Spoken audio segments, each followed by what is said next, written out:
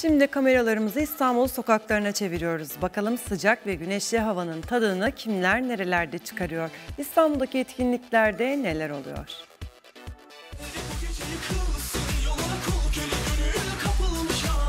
Magazin gündemine dair en sıcak haberler. Hafta boyu kim nerede görüntülendi, neler anlattı?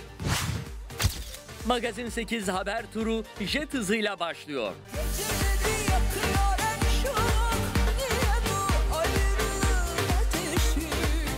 Magazin turumuza güneşli bir İstanbul sabahında Bebek'te başlıyoruz. Kaya Çilingiroğlu bir yandan kahvaltısını ediyor, bir yandan gazetesine gömülmüş haberleri okuyor. Güne tek başına sessiz sakin başlamış. Gazetedeki haber öylesine ilgisini çekmiş ki kameramızı bile fark etmiyor. Yazıyor yazıyor aşkları ihaneti Bebeğin tadını çıkaran isimlerden biri de ünlü şarkıcı Zeynep Mansur'du. Üç gün oluyor yeni albüm. Yine bana zor geliyor çıktı.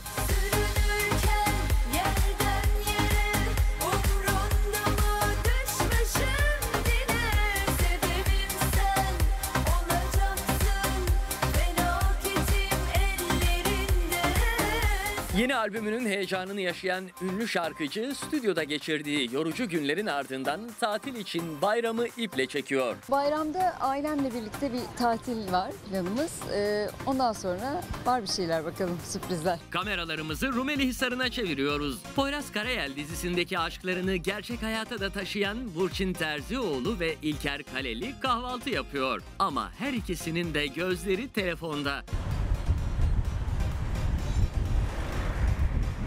Dizinin sezon finali yapmasıyla tatil moduna geçmişler. Şortları, terlikleri ve salaş tişörtleriyle yaz havasındalar. Kahvaltının ardından motorlarına atlayıp gözden kayboluyorlar.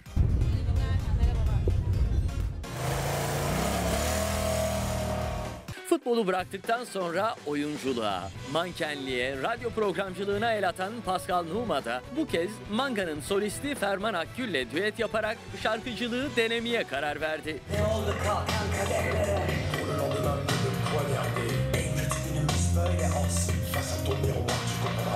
Klip çekimi için setteyiz ama olayın başına dönelim biraz. İşin içinde Pascal Numa olunca eğlence dozajı yüksek bir çalışma olmuş.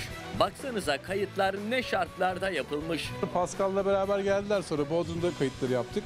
Ee, kayıtların yarısını stüdyoda yarısını havuzda yaptık. Yani izlerken falan salıncakta falan. Stüdyo kayıtları gibi klip çekimleri de eğlenceli geçti. İskender Paydaş, Ferman Akgül ve Pascal Numa çekimler boyunca çocuklar gibi eğlendi.